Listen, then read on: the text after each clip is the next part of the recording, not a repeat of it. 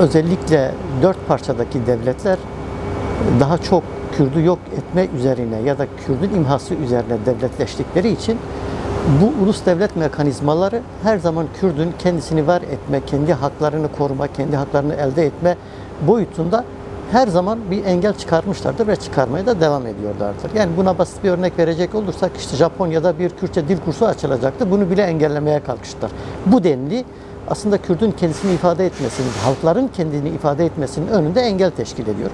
Şimdi çerçeve bu olunca da özellikle bölgede e, Kürtlerin ve diğer halkların birlikte bazı hakları elde etmesi, bazı kazanımlarının olması dört devleti de bir boyutuyla tedirgin etmeye, korkutmaya başladı. Bu çerçevede de bunun önünü ne kadar keserim, ne kadar zayıflatırımın planlaması, hazırlığı, çalışması var. Daha önceki dönemlerde de bilindiği gibi e, bu bölgelerde, özellikle bahsettiğiniz bölgelerde birçok defa girili çıkılmıştır. Herhangi bir şey elde edilememiştir.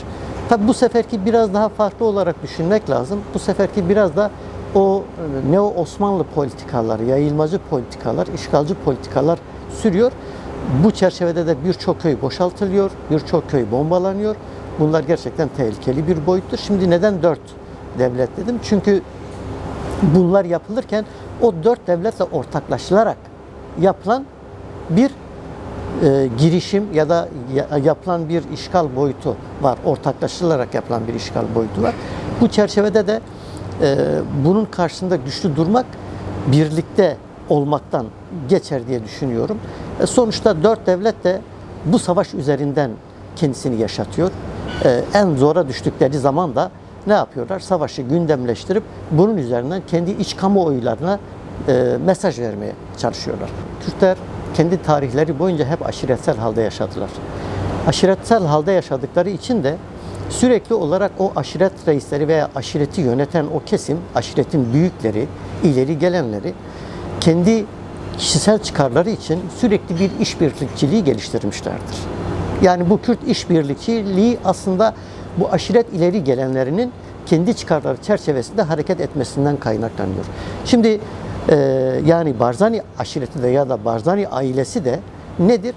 E, KDP içerisinde yer aldığı günden bugüne kadar kendi o aşiretsel çıkarlarını hep ön planda tutmuş, kendi aşiretsel çıkarları çerçevesinde dört parçada da kurdurduğu bu kendi e, KDP'lerinde de bunu yaşamsallaştırmıştır. Özellikle son dönemde de bunu artık öyle bir boyuta getirdi ki işte Türkiye ile çeşitli anlaşmalar yaparak bunu yaptı. İşte İran'la çeşitli anlaşmalar yaparak, Irak içerisinde zaten Suriye ile çeşitli anlaşmalar yaparak bunu geliştiriyor. Örneğin mesela e, Suriye'de ENEKES'in oluşturulması boyutu da yine KDP'nin eliyle gerçekleşmiş bir yapılanma ki ENEKES'in özellikle Suriye'de neler yaptığını herkes biliyor. Oradaki Türkiye ile yapılan toplantılara katılma, ÖSO yapılan toplantılara katılma, hatta bir dönem dönem DAEŞ ile iletişim kurma ki şu anda da işte Irak'a DAEŞ militanları taşınıyor. Bunlar yine bu gruplar eliyle,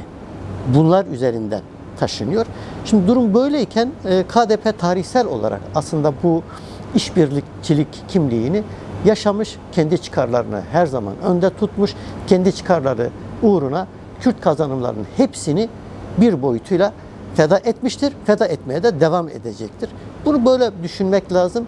E, Bundan sonraki süreçte tabii ki bir e, Kürtlerin kendi içerisindeki bir çatışması e, Kürt mücadelesine kazanımlarına elbette ki zarar verecektir. Ama şunu da ifade etmek lazım. E, bir ailenin kalkıp da kendi çıkarları için bir halkı feda etmesi de kabul edilir bir durum değil. Bunu ifade etmek lazım.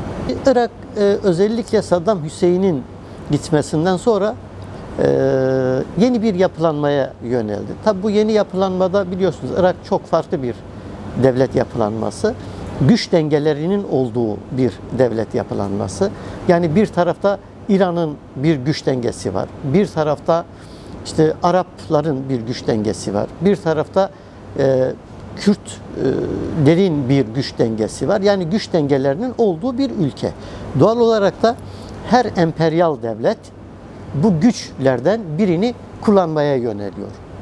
Durum bu olunca da e, Irak'ta e, kendi o kişisel çıkarlarını, o grupsal çıkarlarını, o halksal çıkarlarını e, her devlete bağlı olarak gerçekleştirmek istiyor. Bu çerçevede var olan şu anki Irak hükümeti de e, Türkiye ile anlaşarak bazı çıkarları kendi lehine döndürmeye çalışıyor. Bu çerçevede de hem Türkiye'nin Irak'taki görüşmeleri hem Irak yetkililerinin Türkiye'ye gelip Türkiye yetkililerle görüşmesi sonucu e, birlikte bir hareket zemini daha önce de vardı ama bu kadar açıktan açığa değildi. E, birlikte bir hareket zemini yakaladılar. Bunun arkasında da KDP'nin olduğunu da ifade edebiliriz. E, Savaş her zaman kendisiyle birlikte bir rantı bir de yok oluşu getirir. İki taraflı düşünmek gerekir. Savaş bir rant pol- politikasıdır aslında. Hem o devleti yönetenlerin bir rant politikasıdır hem de o savaşa güç veren diğer devletlerin rant politikasıdır. Çünkü savaşlar silahla yapılır. Silahlar parayla satın alınır. Herkes bunlar